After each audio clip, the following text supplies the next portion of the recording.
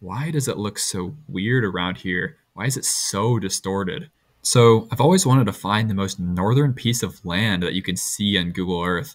And from just looking at it, it's not super obvious. You might have seen videos of Svalbard and Longyearbyen, uh, but it's not there.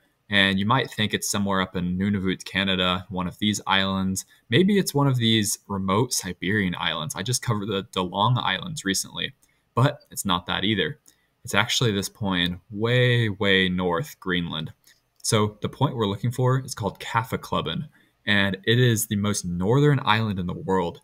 Now, when I was zooming in, I was wondering, why does it look so weird around here? Why is it so distorted? Well, I'll get to that in a moment, but just how far north is this? This is at 83 degrees north, which nothing even comes close to. Longyearbyen's at about 78 degrees north. Um, if we want to look in the South Pole to see how far north that truly is, it would be around here on the South Pole. So really, really deep into Antarctica. Uh, very, very remote. Not really anyone lives up here. There's a few communities like Alert Canada, which is more of a military base, but almost everyone in Greenland lives in this southwest corner where the climate is a lot more moderate compared to way up here. Anyways, let's zoom back in. So the reason this is distorted from what I've read is because there's just not enough satellites to go through this area. Satellites usually have a rotation that goes around the major parts of the world where most people live. And to get a satellite way up here in the north, it's really difficult. Just not enough interest on developing Google images of these areas. So let's take a look at actual images of people on the island. So here's a picture of what Kaffeklubben looks like. So it's really just a deserted, empty island with really nothing going on human activity wise, but there are probably polar bears and other animals in the area. And Google Maps does have a few pictures of it. Here's a pretty blurry picture. Here's another one of what it looks like on the ground.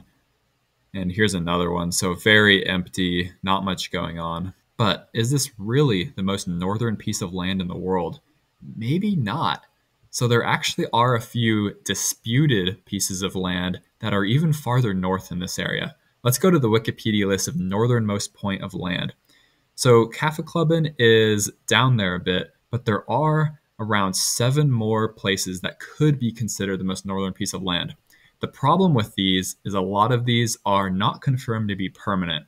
So one of these is Oodaaq. Sorry if I mispronounced that, but it was a gravel bank that was supposedly floating around this area. And it's really hard to consider a floating gravel bank a piece of land when it's not even permanent. As you go up the list, you get to weirder and weirder places. So there's the ATOW, which is the American Top of the World expedition that found this random island. And it's just a 10 meter long and one meter high, also gravel bank, way out here in the middle of nowhere people have made it to these islands and looked at them, but it's still inconclusive. The weirdest one of all, I think, is 8342. This was discovered back in 2003 by Dennis Schmitt, and it's really bizarre. So, this is what 8342 looks like. It's this weird rocky hill that's pretty close to Greenland's mainland here, but it's really hard to tell what's going on on this island. I mean, it's only a few meters wide. These people had to walk across sea ice a long ways to get to it. Um, not sure if it's connected to the actual seabed or if it's floating on ice chunks and it's just a bunch of rocks and gravel that have washed ashore. So, what do you guys think is the most northern piece of land? Is it the Kaffeklubben or is it one of those floating gravel islands? Or is there something else completely that we're all missing that actually is considered the most northern piece of land in the world? Thanks for watching, and if you enjoyed this video, you'll probably enjoy this one as well in the bottom left corner. Thanks.